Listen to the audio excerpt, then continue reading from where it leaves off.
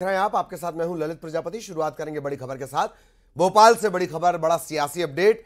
BJP ने लोकसभा प्रभारी घोषित कर दिए हैं। सभी 29 लोकसभा सीटों के लिए प्रभारी बना दिए गए हैं। संयोजक सह संयोजक की भी ज़िम्मेदारी तय कर दी गई है। बीजेपी ने लोकसभा चुनाव की तैयारियाँ तेज नहीं, बहुत तेज कर दी हैं। लोकसभा चुनाव की तैयारियाँ, भोपाल के संयोजक, पूर्व सांसद आलोक संजर भोपाल सीट पर आलोक संजर संयोजक हैं। इंदौर में सुमीर सिंह सोलंकी को ज़िम्मेदारी, जबकि संयोजक की ज़िम्मेदारी मिली है इंदौर में रवि रावलिया।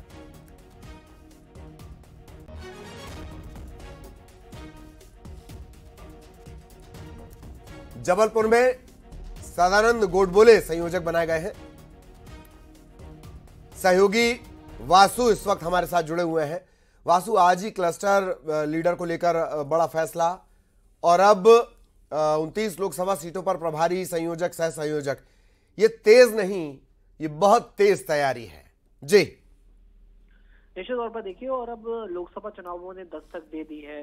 जो बिगुल है चुनाव का वो बच चुका है, और अब बीजेपी जो है पुरजोर कोशिश कर रही है कि जिस तरह से 2019 में चुनावों के परिणाम पार्टी के पक्ष में रहे थे, कुछ इसी तरीके के परिणाम 24 में भी सामने आया। उनतीस में से 28 सीटें बीजेपी ने जीती थी और एक बड़ा रिकॉर्ड जो है वो कायम किया था। और इस बार तो बीजेपी कह रही है कि हम सभी 29 सीटों पर जीत कर दिखाएँगे और उसके लिए ये तमाम तैयारियाँ जो है वो ज़रूरी है, चाहे लोकसभा प्रभारी की बात हो, संयोजक की बात हो सह संयोजक की बात हो, और यही वो तमाम महत्वपूर्ण लोग होंगे जो टिकट देने का क्राइटेरिया क्या होगा, कैसे चुनाव अभियान को आगे बढ़ाया जाएगा, इन तमाम चीज़ों को तय करेंगे और बीजेपी को जिताने के लिए पुरजोर प्रयास करते हुए नज़र आएँगे। दूसरी तरफ़ कांग्रेस भी लगातार तैयारियाँ कर रही है, कांग्रेस भी दावा कर रही है कि हम लोग बीते सालों के में जो चुनाव हुए उससे बेहतर करेंगे, उससे अच्छा करेंगे। लेकिन बीजेपी का सामना करना इस वक्त कांग्रेस के लिए बहुत मुश्किल कहीं ना कहीं जो है वो नज़र आ रहा है। हालाँकि देखना होगा ये चुनाव है, राजनीति है, राजनीति में कब क्या हो जाए, कोई कह नहीं सकता। और बहुत बड़ा अंदाज़ा लगाना और सटीक अंदाज़ा लगाना वो भी मध्य प्रदेश की पॉलिटिक्स में उतना आसान नहीं होता है।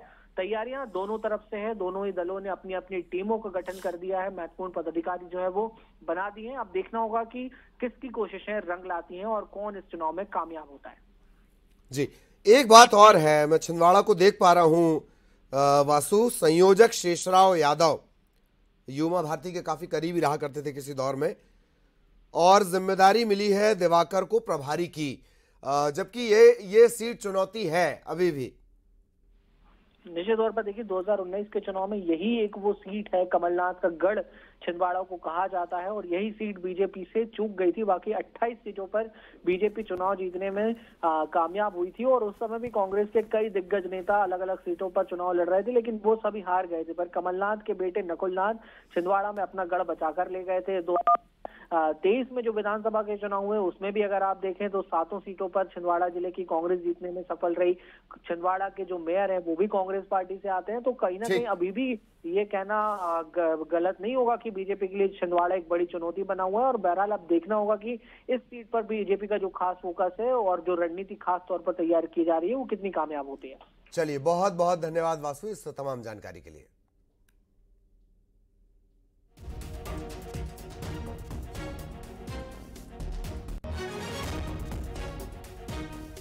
बीजेपी ने अपने लोकसभा प्रभारी घोषित कर दिए हैं। इसी बात की जानकारी दे रहे थे सहयोगी वासु।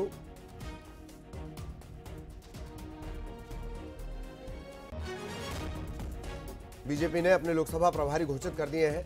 सभी उनतीस जो लोकसभा सीट है, उन पर ज़िम्मेदारी। संयोजक, सह संयोजक और प्रभारी, इनके नाम का ऐलान किया गया है।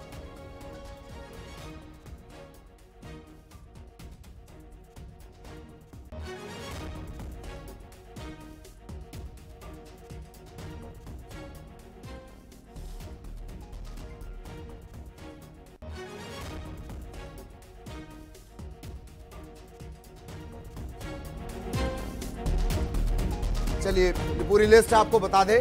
बीजेपी ने ऐलान कर दिया है अपने प्रभारियों का, सह प्रभारियों का और संयोजकों का। मुरैना, भिंड, ग्वालियर, गुना, इन तमाम जगहों से ऐलान किया गया है, छिंदवाड़ा से भी ऐलान किया गया है। यही एक जो सीट है, वो चुनौती बनी हुई है। बीजेपी ने लोकसभा चुनाव की तैयारियाँ तेज कर दी हैं, छत्तीसगढ़ बीजेपी ने। और छत्तीसगढ़ बीजेपी के अध्यक्ष किरण सिंह देव ने कहा है कि जल्द ही उम्मीदवारों का ऐलान कर दिया जाएगा। जनता पार्टी में और न सिर्फ़ लोकसभा की दृष्टि से और शुरू से ही, प्रारंभ से ही ये एक प्रमुख कार्य योजना रहा है। और समूचे देश में जिस तरीके से गाँव चलो, घर चलो अभियान जो है, ये हमारे एक प्रमुख कार्यक्रम है। और हमारे प्रत्येक प्रदेश से लेकर ज़िले, मंडल तक के हमारे मोर्चा प्रकोष्ठों के सभी सभी वरिष्ठ नेतागण, सभी जनप्रतिनिधिगण और इस कार्यक्रम से जुड़ रहे हैं। और हमारे सभी गाँव में हमारे प्रत्येक जिम्मेदार अधिकारी, पदाधिकारी और वहाँ पर रात्रि विश्राम तक करके और गाँव में वहाँ पर विभिन्न कार्य योजनाएँ जो निश्चित सुनिश्चित की गई है उसमें एक दिन, एक रात 24 घंटे पूरे वहीं पे रहेंगे। किसी कार्यकर्ता के यहाँ भोजन, कहीं विश्राम, रात्रि विश्राम, इस तरीके की योजना है। ऐसा छत्तीसगढ़ ही नहीं पूरे देश में ऐसा एक भी परिवार नहीं होगा जिसे आदरणीय प्रधानमंत्री मोदी जी की किसी न किसी योजना का लाभ नहीं मिल रहा होगा। तो निश्चित रूप से विभिन्न चरणों में विभिन्न आयाम है इस योजना के उनका ये सफलतापूर्वक निष्पादन करें। नहीं सभी ज़िले स्तर पर इसकी कार्य योजना बन चुकी है रचना बन चुकी है और सभी के ज़िम्मेदारी के अनुसार और सभी को इसमें लगने का आह्वान किया गया इस कार्य योजना में। और ये सतत चलने वाली प्रक्रिया है। कल से इसका प्रारंभ है, शुरुआत है। और सभी जिम्मेदार अधिकारी, पदाधिकारी, कार्यकर्ता इस योजना में। देखिए, छत्तीसगढ़ में विधानसभा चुनाव के दरमियान छत्तीसगढ़ वासियों सभी समाज के लोगों ने, सभी वर्ग के लोगों ने, सभी क्षेत्रों में भारतीय जनता पार्टी को अपना बहुत स्नेह दिया, आशीर्वाद दिया है। भारतीय जनता पार्टी की जो कार्य योजना है, आदरणीय प्रधानमंत्री की जो कल्याणकारी योजना है, जो गाँव के लिए हो, गरीब के लिए हो, किसान के लिए हो, सभी वर्ग के लिए हो, और उसे शहर स्वीकार किया है। और, ये सारी योजनाओं के संबंध में प्रत्येक हमारे गाँव में जो जाएँगे हमारे पदाधिकारी, कार्यकर्तागण, और इस पर चर्चा, बातचीत, और जो लाभ, लाभार्थी हैं, जो हमारे अन्य उन योजनाओं से जुड़े हुए लोग हैं, अन्य समाज हैं, क्षेत्र के अन्य विशेष व्यक्ति, और सभी से बातचीत, चर्चा करके। और न्यूज़ 18 की खबर पर लगी है मुहर। मेहतारी वंदन योजना एक मार्च से लागू होगी।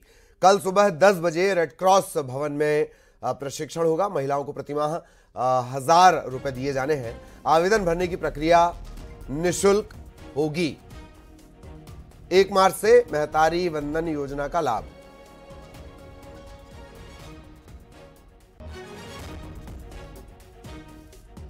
न्यूज़ एटीन ने यह सबसे पहले आपको बताया था, मेहतारी वंदन योजना एक मार्च से लागू हो सकती है और आखिरकार वही हुआ। कल सुबह 10 बजे रेड क्रॉस भवन में इसका प्रशिक्षण भी होना है। महिलाओं को प्रतिमाह हज़ार रुपए दिए जाने हैं इस योजना के तहत। गरियाबंद में 24 फरवरी से राजिम कुंभ का आगाज़ होना है। राजिम त्रिवेणी संगम पर मेले का आयोजन 8 मार्च तक होगा।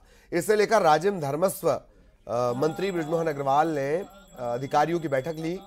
तीन ज़िले के कलेक्टर, एसपी अधिकारी इस बैठक में मौजूद रहे। अग्रवाल ने कुंभ को लेकर अधिकारियों को ज़रूरी निर्देश दिए हैं। हुई है तो अब छत्तीसगढ़ का ये राजिम कुंभ कल्प भी भव्य होगा, दिव्य होगा। और साधु संत महात्मा शंकराचार्य जी महामंडलेश्वर सब आएँगे और क्योंकि समय कम बचा है, हर बार तीन महीने की तैयारी में होता है। इस बार एक महीने की तैयारी में हम कर रहे हैं तो हमारी कोशिश होगी कि उसके बाद भी यहाँ पर अच्छी से अच्छी व्यवस्था हो सके। बिलासपुर में हुआ है न्यूज़ एटीन की खबर का असर। अवैध खनिज खदानों पर प्रशासन ने शिकंजा कसा है। आठ क्रशर सील कर दिए गए हैं। चार कोल्ड डिपो को नोटिस जारी किए गए हैं। चौतीस वाहनों पर कार्रवाई की गई है। न्यूज़ एटीन ने प्रमुखता से खबर दिखाई थी किस तरह से अवैध खनन और ब्लास्टिंग के चलते आसपास के कई गाँव परेशान हैं और आखिरकार उसका बड़ा असर हुआ।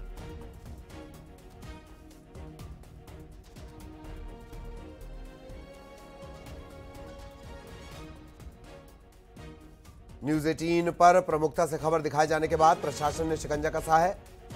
अवैध खनिज खदानों पर बड़ी कार्रवाई की गई है। आठ क्रशर सील कर दिए गए हैं। चार कोल्ड डिपो को नोटिस जारी किया गया है। चौंतीस वाहन इन पर भी कार्रवाई की गई है। न्यूज़ एटीन ने प्रमुखता से ये खबर आपको दिखाई थी, कितनी ये खतरनाक है। अवैध ब्लास्टिंग किस तरह से खतरनाक हो रही थी आसपास रहने वाले लोगों के लिए।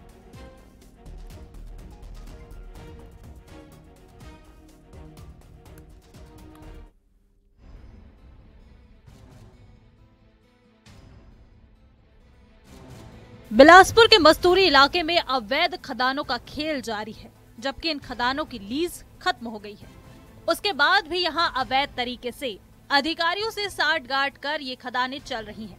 इन खदानों में बड़े पैमानों पर डेटोनेटर लगाकर सुबह से लेकर रात तक ब्लास्टिंग होती रहती है, जिसकी वजह से 50 से ज़्यादा गाँव के लोग दहशत में जीने को मजबूर हैं देखिए, मस्तूरी क्षेत्र में लगभग तीस के करीब क्रेशर प्लांट और खदानें हैं। लेकिन वहाँ जो खनिज अधिनियम जो होता है, उसके तहत वो कोई काम वहाँ नहीं हो रहा है उसकी गाइडलाइन के अनुसार। तो जो शासन का जो गाइडलाइन है, खनिज विभाग की जो गाइडलाइन है, उसका पालन होना चाहिए। जबकि देखने में आ रहा है कि मसूरी क्षेत्र में खनिज निरीक्षक से लेकर खनिज के अधिकारी तक, मैंने अभी तक ये नहीं सुना कि वहाँ जाकर कोई दौरा किए हैं। अवैध संचालित खदानों में ब्लास्टिंग की वजह से इलाके में कई मकानों में दरार पड़ गई है। इस इलाके के कोसम डी गाँव में न्यूज़ 18 की टीम पहुँची। यहाँ एक भी ऐसा मकान नहीं दिखा जिसमें दरारें न हो। हर घर में सुरंग दिखाई दी। और ब्लास्टिंग के ज़रिए जो ब्लास्टिंग होती है, उसके बाद जो स्थिति निर्मित हुई है, उसको आपको दिखाना चाहूँगा। देखिए कि ये घरों की वो दीवार है जो ब्लास्टिंग की वजह से पूरी तरीके से क्रेक हो चुका है। और ये जो दरारें हैं ये केवल इस एक घर की नहीं बल्कि यहाँ पर बस्ती लगभग ढाई से तीन सौ मकानों की स्थिति इसी तरीके से है। गाँव के लोगों से बातचीत के बाद न्यूज़ 18 की टीम उन खदानों तक भी पहुँची जहाँ धमाकों के खेल को खेला जाता है। ड्रिल मशीनों से खदानों में खुदाई जारी थी। वहीं कुछ लोग ब्लास्टिंग के लिए डेटोनेटर लगाते भी दिखाई दिए। इस वक्त मैं ग्राउंड ज़ीरो पर मौजूद हूँ कोसमडी के गाँव में मौजूद हूँ और ये गाँव का वो इलाका है जहाँ पर अवैध तरीके से ब्लास्टिंग की जा रही है। कोई नियत समय नहीं होता है। ब्लास्टिंग का बेसमय यहाँ पर ब्लास्टिंग की जाती है, जिसकी वजह से गाँव वासियों का जीना हराम हो चुका है। इस ब्लास्टिंग की वजह से परेशान है।